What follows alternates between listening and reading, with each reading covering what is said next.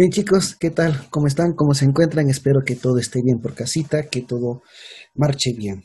¿Ya? Bien, ya me conocen, soy el profesor Cristian Mendoza y conmigo estamos haciendo los cursos de historia, ¿ya?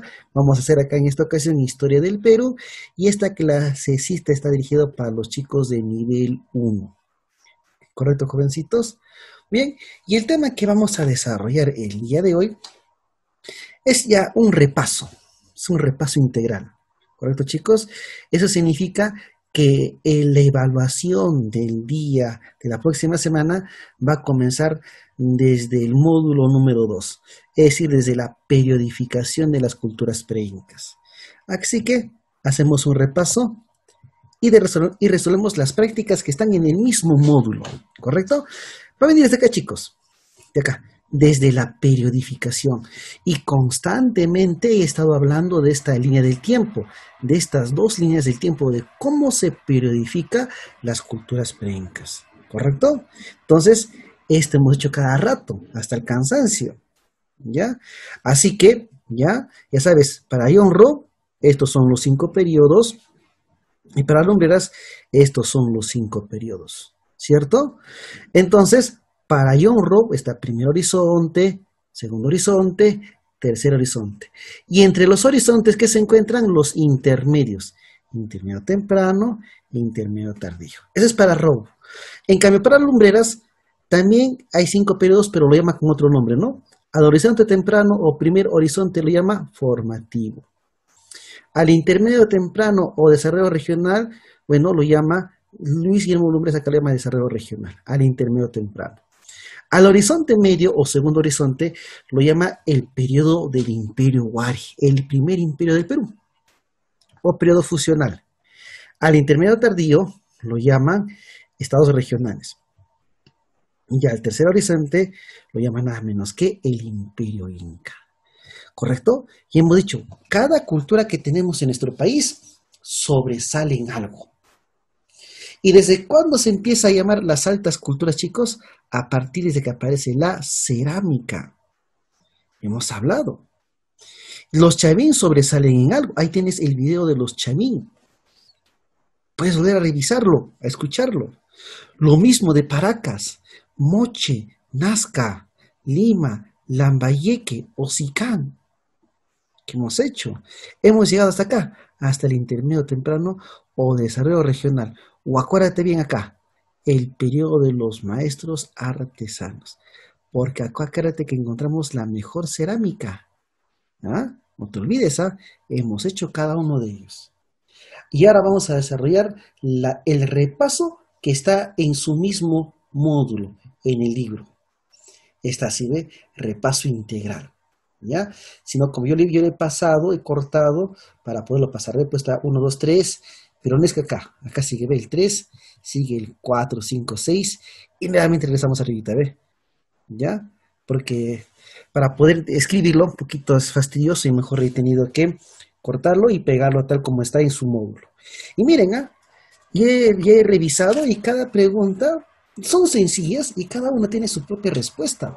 Sí, acá no, hay, no he encontrado ninguna que no tenga respuesta. Son 30 preguntitas y desarrollamos para bueno, para que ustedes de paso repasen y miren pues también los videitos de cada una de las clases que hemos desarrollado. Chicos, comenzamos entonces con el repaso integral. Muy bien. Miren, ah, comenzamos. Uno, fue la capital de una cultura costeña que pertenecía al intermedio temprano. Ah, regresamos atrás. ¿Quiénes son intermedio temprano? ¿Quiénes hemos hecho? Moche, Nazca, Lima, Lambayeque, Ocicán. Hemos hecho, ¿ah? No vean que no.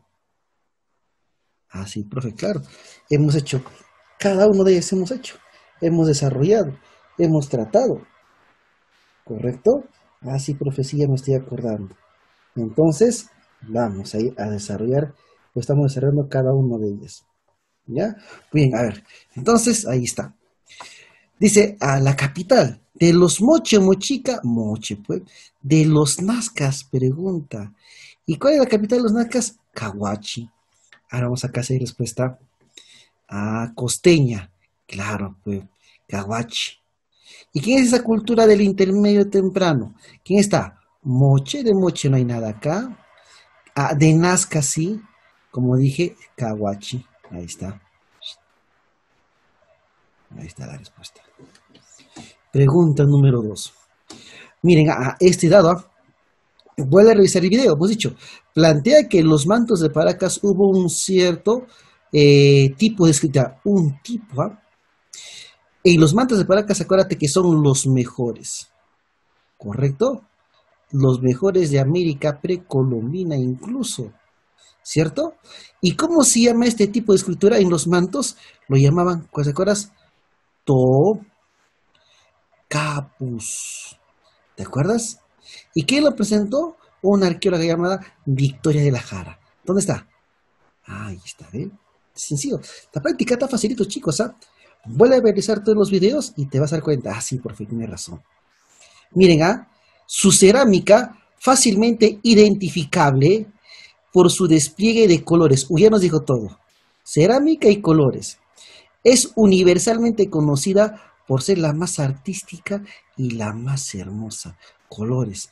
Allá, ah, acuérdate, el periodo de los maestros artesanos. ¿Correcto? La mejor cerámica. ¿Y a quién tenemos la mejor cerámica? A los Moche y a los Nazca. ¿Cierto? ¿Sí o no? Sí, profe. Ah, de los Moche, ¿cómo es su cerámica? Es la más, la escultórica escultórica. Y la más que es la más pictórica, polícroma, la que mejor fue pintada. Y obviamente está pegando sobre esto, sobre los Nazcas. Ah, profe, respuesta acá. Tres, nada menos que Nazca. Pasamos al 4 y el 4 se encuentra más bajito. Regresamos así. Ahí está, la pregunta número 4. ¿Ya? Dice, el centro cultista de Chavín en la costa central, en el Valle Rima. Ah, Valle Rima. ¿Dónde? Lima. Ah, claro, profe, en Lima, ¿cierto? Ahora voy a cambiar de colorcito un ratito. Un ratito. Vamos a cambiar por un, por el de acá, para que se pueda diferenciar más. Ah, profe, en Lima. Muy bien. Ah, dice, ve, de Chavín. Ah, es fue una sede de Chavín. ¿Correcto?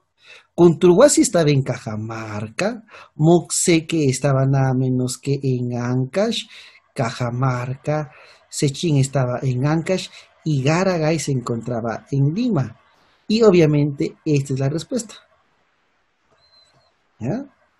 Pregunta 5. Hoy mire, ya, fácil. ¿ah? Son las etapas eh, o son las etapas en que las culturas desarrollaron únicamente en el ámbito regional. Ah, ya. ¿Se acuerdan, diciendo? ¿Cuándo lo llama horizonte? Cuando la cultura tiene una gran influencia, ¿correcto? Tiene una gran expansión, ¿no? Tiene una dominación y expansión territorial. Por eso lo llama horizonte. Y entre los horizontes que se encuentran los intermedios. ¿Y qué dijimos en los intermedios? Se encuentran culturas locales o regionales, ¿no? Porque abarcaron unas cuantas regiones en el Perú. Entonces, ah, únicamente ámbito regional. ¿Quién fue? Los intermedios. Pregunta 6. Miren, ah, uy, este hemos puesto, se encuentra en el templo viejo de Chavín de Guantar, considerado el dios principal, ¿no? El que tiene la forma justamente el de una cuchilla. Y le estoy dibujando, ¿ve? Acá está ese ser, ¿no? Con sus dientes, ¿no? Rasgos ahí de felinos, ¿no? El dios jaguar. ¿Correcto? Ah, profe, el dios jaguar, sí. ¿Y de quién estamos hablando? Obviamente de lanzón monolítico. Bueno, se dan cuenta. Ahí está, ¿ve? Listo. Pregunta 7, vuelvo a subir. ahí está. Uy, ya esto facilita. Plantea que las líneas de Nazca fueron un gran calendario astronómico. Cuando hemos hecho la línea de Nazca, existe varias hipótesis. Es decir, que fueron posiblemente líneas de Nazca, ¿no? Desde una pista de aterrizaje de extraterrestres hasta un zodiaco andino, hasta un seque cultos del agua, pero quien plantea que es un calendario astronómico es María Rich, la dama de Nazca. Revisa los videos, está todo allá. Revisa, revisa. Listo. Dos. Durante su desarrollo cultural surge un estado teocrático. Ya.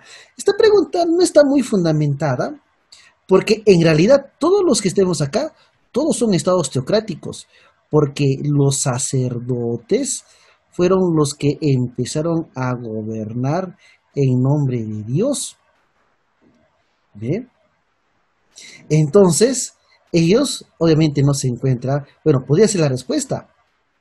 Entonces, para que sea una respuesta correcta, porque miren, todos son teocráticos, todos. Los sacerdotes no gobiernan en nombre de Dios. Entonces, durante el desarrollo cultural, sería así, ¿no? Eh, surge el Estado teocrático. Pondrías, ¿no? ¿Cuál fue el primero? O durante acá, durante el desarrollo cultural, específico, formativo. Ahí aparece el primer Estado teocrático. Si agregamos esto, la respuesta correcta sería Cachavín. Porque si no agregamos esto, todas serían las respuestas. Pues tenemos que dar una solución. ¿Correcto? Ahí está. Pregunta Neve. Uy, ya, hemos hecho los moche. Este hemos hecho de los moche. Afirma que los moche, ¿por qué moche? Porque es del valle, el valle más importante es moche, o también mochique. ¿Se acuerdan? Porque se llama fue el mochique, y se llama mochica, K, mochica. ¿No? Pudieron tener un sustento, dice, de una quistura llamada payariforme en los payares, ¿se acuerdan? Había una iconografía, ¿no? Ah, profe, ¿quién? Rafael Arco. Pregunta 10, ¿ah? las claves están al otro lado. Mira, etapa en la cual los, nuestros antepasados le dieron importancia a la cerámica. Se le conoce como el periodo de los maestros artesanos. Qué fácil. Regresa acá, eso ya es, miren, ¿eh? miren acá, maestros artesanos, intermedio temprano, o desarrollo regional, no te pases. Eso ya está, ya ni, decir. Entonces, por lo tanto, acá inter, sería intermedio temprano. Ya está, ¿ve? Ah. O lo llaman desarrollo regional. ¿Correcto? O, ¿cómo dice? El peor de los maestros artesanos la mejor cerámica, ¿no? ¿Está? Oye, el principal dios de los mochicas, el dios degollador. ¿Ah? ¿Cómo se llama? El dios Aya Paek, que es el dios degollador. Y justamente más adelante hay una preguntita, ¿esto que está con el nombre de dios degollador? ¿Ya? Está el 11. Pasamos pregunta número 12. Esto sí, lo acepto, no lo hemos mencionado, pero este es un descubrimiento del año 2010, donde establece que las mujeres, que la mujer tenía cargo de sacerdotisa. La mujer también tuvieron cargos muy importantes. La sacerdotisa de San José de Moro, ¿no? Eh, pertenece a la cultura de los Mochi. ¿Y dónde se encuentra la sacerdotisa de San José de Moro? Nada menos que en la libertad. En la libertad. Mochi. Ahí estamos. ¿Correcto? Ya. Muy bien. Uy, ya. El vocablo Paracas hemos puesto, revisa. ¿Qué significa? Lluvia de arena o gente de frente grande. Profe, acá está Acá está. Aveide. ¿Está? La cultura Paracas fue dividida en dos fases. Claro, fue dos fases. Primero que fue Paracas, cavernas. Y luego Paracas, necrópolis. Acá está la respuesta. Sencillo. ¿Ve? Bien, pregunta 15. Veremos acá. Ahí está, ¿ve? Los mejores mantos de los Paracas. Ah, en el, es en el, en el último periodo, Paracas Necrópolis. Mm, sí, acá sería, ¿no? para acá. 15, la de edad. ¿Correcto? Ya, muy bien. Siguiente. La cultura nazca se caracterizó por destacar artísticamente en su cerámica, cuya característica principal, Nazca, ¿cuál es? La más pictórica. ¿Dónde estás acá? Ah, profe, ¿en qué? En la pintura, en su pintura estaba. Ahí está. 16B. Bien. Pregunta 17. Ahí está. Dije que está un poquito desordenado. ¿Por qué? Y para pasarles un poquito, por favor no te confundas. Estamos acá 17. La capital de la cultura nazca. Uf, la primera pregunta, pues chicos. Ese está recontra regalado. Ahí está el dios degollador, el dios hacedor de los moche. Allá, Paek. Qué fácil está esta práctica, chicos. Uy, en este hemos hecho último. A la cultura de la media que también, ¿cómo se llama? Sica. La mejor orfebrería. ¿Ah? Pues, chicos, está recontra facilito. 19. Pasamos al 20. ¿Ve? Nada complicado, jovencitos, ¿ah? Chicos de nivel 1, esta práctica está recontra regalada y la clase. ¿Ya? Y el examen, uy, facilito. Los hombres de la cultura de la maya que fueron especialistas, ¿se acuerdan qué? En la orfebrería. Ah, ponemos acá, orfebrería. ¿Listo? Ahí está, a. Bien. Continuamos. Pregunta 21. Hay que ordenar cronológicamente. Muy bien. esto tiene que ver con temas anteriores. Uno, acaba. Primero tiene que ir la grabación de Wisconsin. Porque esto fue promedio hace unos 40 mil años. ¿Ya? O sea, todo lo que tiene uno, ya. Que no comienza con cinco, descartado. Descartado, descartado. Luego sigue Pacaicasa, el hombre de Pacaicasa, porque el hombre de Pacaicasa promedio son unos 15 mil, 14 mil años, pero otros quieren fecharlo. Vamos a poner acá aproximado unos 16 mil años. Ah, luego sigue el 4. 5, 4, acá, profe, ya tengo dos posibles respuestas. Luego, ¿quién viene? Nada menos que Cardal. Este es un centro, este es nada menos que un, ¿cómo se llama acá? Un centro arqueológico que también está en el periodo del arcaico. No muy conocido, pero lo han puesto. Va el 2, 1, sí, está. Acá. ¿No? Siguiente pregunta. Uy, ya hemos hecho. En tu práctica también estaba. Y he puesto como pregunta. ¿No? El señor de Zipán fue descubierto en el año 1987 por el arqueólogo peruano Walter Alba. Ahí está. ¿No? El señor de Zipán, ¿se acuerdan que hicimos? ¿Qué cargo tuvo el señor de Zipán? Fue el cargo de Alaek. Fue un gran Alaek el señor Zipán. ¿Ya? Párate, cuando hablamos de los moches, ¿se acuerdan que había una estructura? ¿Y quién estaba primerito? El Sie Kich. Y luego estaba el subordinado, el Alaeg, que estaba el señor de Zipán. Los restos humanos más antiguos. Esto también hay que actualizar. Miren, ¿ah? cuando hemos hecho este tema, esto viene del tema exterior. Acá se encuentra nada menos que guitarrero, guitarrero 1. Esta es la respuesta, esto, hay que actualizar. Esto falta actualizar. ¿Correcto? Esta era la respuesta. ¿Ya? Esto, porque esto no es, no es, no es, no es. ¿Ya? Considerado el primer imperio de Perú. Fácil. Pues. es ¿cómo le llama? Periodo Wari. ¿verdad? Se escribe así, o también así. Es una palabra quechua. No voy a aplicar la erraya ahí, ¿no? Uy, qué fácil. ¿ah? Divinidad, divinidad, antropomorfa con rasgos de felino, serpiente, ave. Ah, esto, ¿dónde encontramos? En los chavinos. Ah, facilita. Ahora de este de acá, continuamos abajo, mira. El arte rupestre de la cueva de Toquepala. Tengo una pregunta anterior, del trimestre anterior, pero estamos ahí repasando, donde se aprecia una gran escena de cacería, que es también llamada el famoso Chaco, o Chaco. Y vamos acá. 29, acá está, ve, Chaco. ¿Ah? Acá, uy, nos pasamos esto, ¿no? Ya, pero lo pasamos acá al 30, quedamos, ¿eh? Restos líticos más antiguos, Paca y Casa. Este es uno del primer periodo. Del primer periodo. Se filtra, bueno, como repaso. Hoy no te pases, pues. Las declaraciones cranianas. ¿En qué periodo? En el primer periodo de Paracas, Paracas, cavernas. Y para irnos, porque esto es sencillo, ¿ah? ¿no? La ciudad más antigua de América prehispánica se encuentra donde? Uy, ya. Oye, ¿cuál es más, más, eh, la ciudad más antigua? Caral.